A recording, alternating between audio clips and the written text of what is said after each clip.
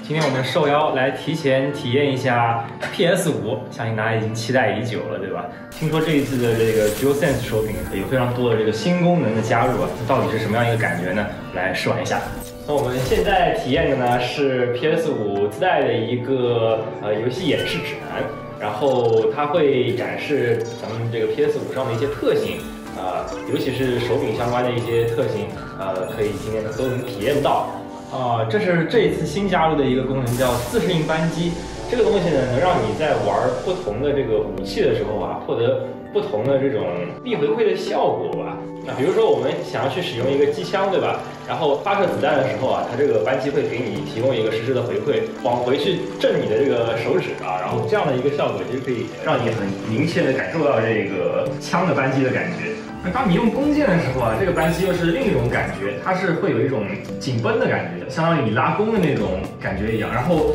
随着你的这个拉弓啊，它手柄还会有一种微微的震动，就好像你花了很大的力气去拉这个弓一样。哎，这个是叫动态感测啊，他说这个咱们的手柄现在震动更加细腻，所以说呢，里面的这个震动啊，往不同的方向去震动，哎，感觉特别的神奇啊。这次这个震动反馈啊，在你的游戏中应该会有很明显的一个感知，因为你比如说你走在不同的表面上啊，它会有很明显的一个反馈上的差异啊。在这种玻璃表面上走呢，就是会有剁剁剁，就是那种很尖的那种反馈啊，呃，轻微但是又很尖锐的反馈。但是你在这种粗的表面上走呢，它的反馈力度就没有那么大啊，感觉震动反馈啊会受游戏的不同的地形的这个影响。哦，它进到水里咕咚一下啊，这个东西在手柄上面体现的特别的明显。哦，当这个暴风吹过来的时候，这个手柄上面会有那种淅淅沥沥的这种反馈。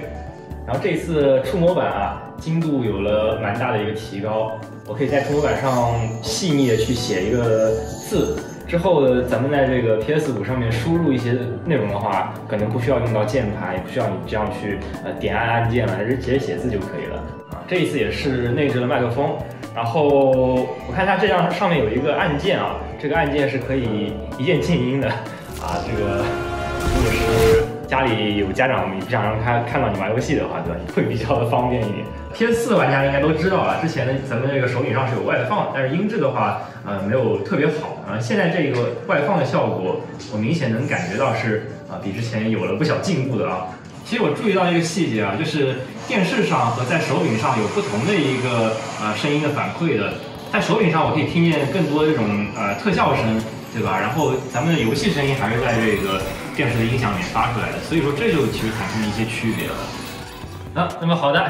啊，我今天是正式体验了一下 PS 五啊，我觉得这个 PS 五主机至少在这个手柄的部分啊，呃，给我的感觉还是非常不错的啊，改进很大。呃，我比较在意的点呢，主要是它的这个自适应的扳机，对吧？你拿枪的时候，它会嘚嘚嘚嘚往往回弹啊，一个很高的一个频率去弹。然后你拿弓的时候，它可以模拟那种就是拉弓的感觉啊，会有一个很强的力回馈。那么等到 PS 五正式上市的时候呢，我们也会带来更多的啊，不管是硬件上也好，还是游戏上也好的一些解析啊，新的一些技术我们也会做点分析啊。到时候呢，也不妨来看看我们节目。好了，我们下次再见了，拜。